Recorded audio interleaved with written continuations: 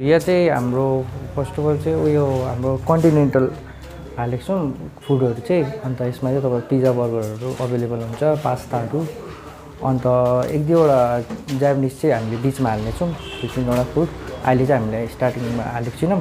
अन्त चाइनिज पनि एक दुईवटा हालेको छौँ हामीले नुडल्सहरू अन्त चिल्ली पट्याटो त्यस्तोहरू सेट हालेको छौँ। अन्त त्यसमा सेकहरू पनि अभाइलेबल छ।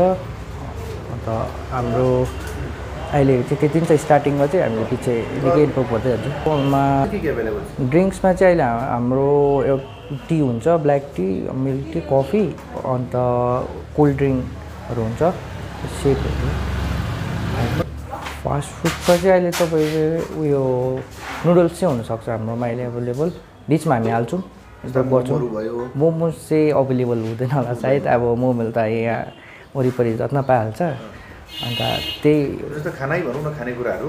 खानेकुरो राइस राइसमा फ्राइड राइस चाहिँ म अहिले हालेको छुइनँ। अलिकति मलाई साह्रै पर्छ एक्लै भएर।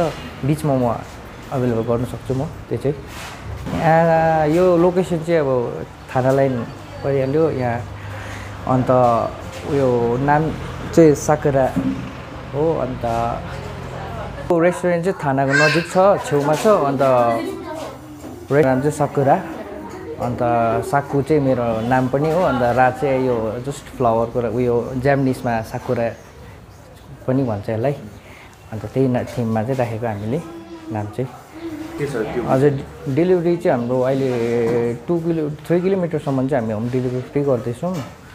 अन्त त्यसको कन्ट्याक्ट नम्बर चाहिँ nine six five zero seven nine double two three nine छ। यसमा चाहिँ अब सबैजना आइदिनुहोस् होला मेरो रेस्टुरेन्टमा पिज्जा बर्गर सबै अभाइलेबल हुन्छ। ट्राई गरिदिनुहोस् तपाईँहरूलाई कस्तो लाग्छ आएर फिडब्याक यसो दिनुहोस्। भन्छु वेलकम छ तपाईँ सबैजनालाई।